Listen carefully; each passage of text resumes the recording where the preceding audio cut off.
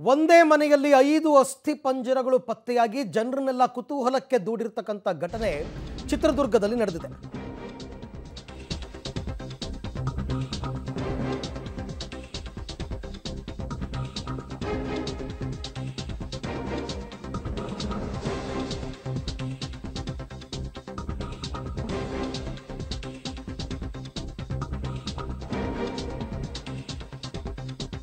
ಒಂದೇ ಮನೆಯಲ್ಲಿ ಐದು ಅಸ್ಥಿ ಪಂಜರಗಳು ಪತ್ತೆಯಾಗಿದೆ. ಚಿತ್ರದುರ್ಗದ ಕಾರಾಗೃಹ ರಸ್ತೆಯಲ್ಲಿರುವ ಒಂದು ಪಾಳು ಮನೆ, ಆ ಪಾಳು ಮನೆಯಲ್ಲಿ ಪತ್ತೆಯಾಗಿರೋದು.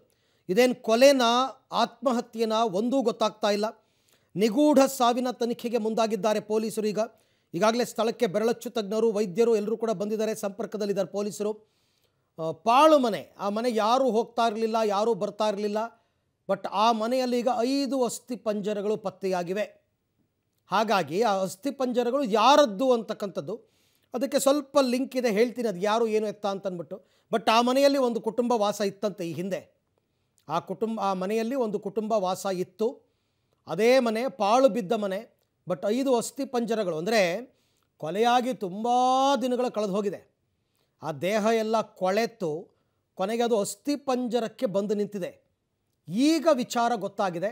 ಹಾಗಾಗಿ ಈಗ ಸ್ಥಳಕ್ಕೆ ಪೊಲೀಸರು ಬಂದು ಈ ನಿಗೂಢ ಸಾವಿನ ತನಿಖೆಗೆ ಮುಂದಾಗಿದ್ದಾರೆ. ಇದು ಚಿತ್ರದುರ್ಗದ ಕಾರಾಗೃಹ ರೋಡ್.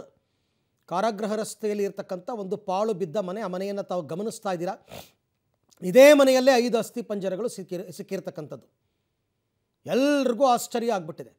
ಈ ಹಿಂದೆ ಇದೇ ಮನೆಯಲ್ಲಿ ವಾಸ ಇದ್ರಲ್ಲ, ಅವರೇನಾ? ಅವರೆಲ್ಲ ಏನಾದರೂ ಸಾಮೂಹಿಕವಾಗಿ ಆತ್ಮಹತ್ಯೆಗೆ ಶರಣಾಗಿದ್ರಾ?